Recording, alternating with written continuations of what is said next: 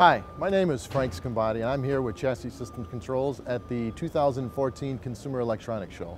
What I'm here to do to show you today is a suite of technologies that we offer within our Chassis Systems Control division. For example, we have here an interactive display which will show things like electronic emergency braking, which is for those situations where you have a critical uh, situation and the driver may not be braking enough. We also have automatic park assist, for example, where the car will actually automatically park itself. Another technology that we're highlighting is uh, what we call the predictive emergency braking systems.